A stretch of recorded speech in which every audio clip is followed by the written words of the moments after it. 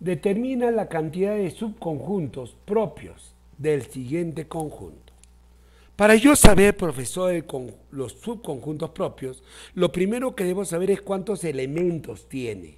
Y para eso debo llevarlo a extensión el conjunto. Luego, llevado a extensión, hallo los subconjuntos totales. Y luego, restándole uno, se llama conjuntos propios. ¿Por qué uno? Porque se retira al conjunto nulo o vacío. Interesante, profe. Qué interesante. Solución. Acá nos dice que B, a ver, B es igual a todos los X, tal que X es primo. Y X menor que 20. ¿Qué significa la palabra primo?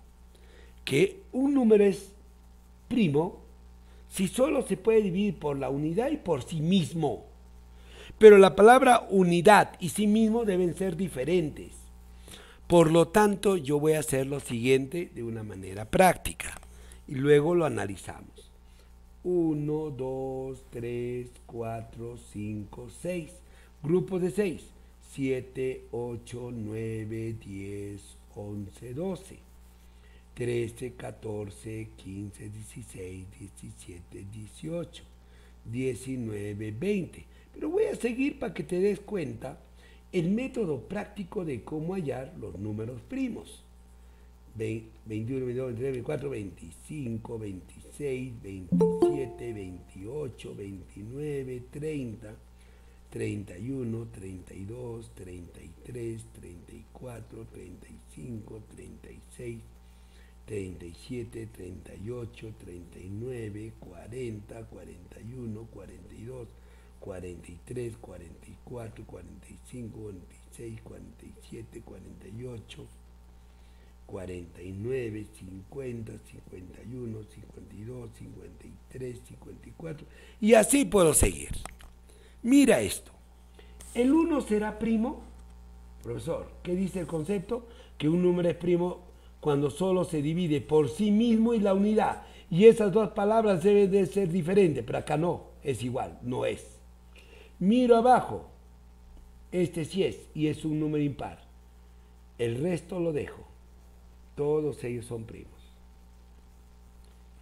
Ahora miro acá, el 2, ¿es primo? Sí, es primo. Porque es dividido entre sí mismo, que es 2 entre 2, 1. Y la unidad, 2 entre 1, 1. Pero este es par. Y todos estos son pares, profesor. Los elimino. Ninguno hasta el infinito y más allá no son valores primos.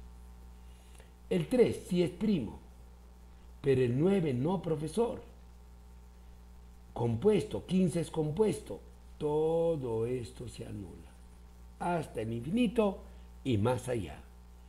El 4 no es primo, pero profe, sería ojo cerrado, porque es 2 por 2. Y todos los que siguen son números pares, por lo tanto no es primo. Desde ahí hasta el infinito y más allá.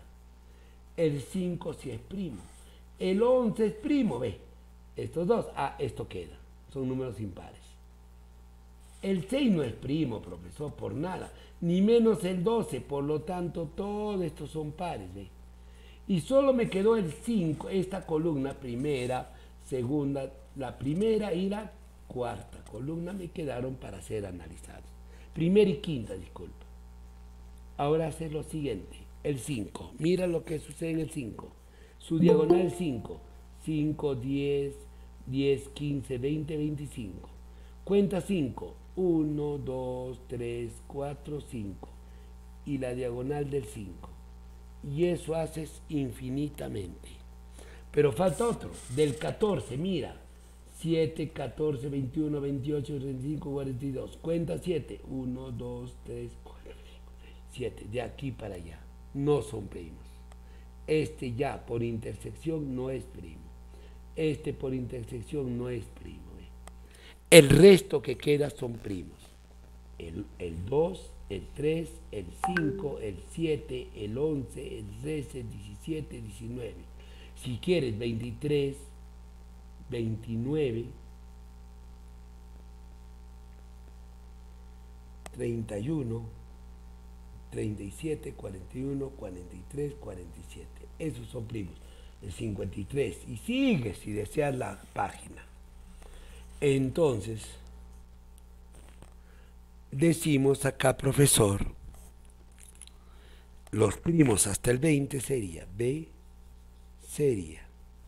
Comenzamos el 2, en orden, el 3, el 5, el 7, el 11, el 13, el 17, el 19. Y ahí tenemos por extensión. Pero no me pide eso, sino la subconjunto. Primero entonces, los subconjuntos de B sería, profesor, 2 elevado 1, 2, 3, 4, 5, 6, 7, 8. A la octava. Profe, un ratito. Yo sé, nota, nota, nota, nota. No debes olvidarte nunca esto. 2 a la décima es 1024. Entonces sácale la mitad. 2 a la novena, mitad, 512. Mitad, para que sea 8. Mitad de 5, 2. 2 por 2, 4, sobra 1. De 11, 5, 5 por 2, 10, sobra 1. 12, 6. 2 a la octava es 256, así de fácil, ¿ve? Pero tiene que partir, mi querido amigo y amiga, de 2 a la décima que debes saberte de memoria, porque esto se aplica en física y química, bastante en física y química. 2 a la décima, 1024. Pero no me pide subconjuntos, me pide subconjuntos propios. Ah, ya. Subconjuntos propios. Los subconjuntos propios se quita al conjunto nulo vacío, por lo tanto menos 1, 255 subconjuntos propios. acabamos.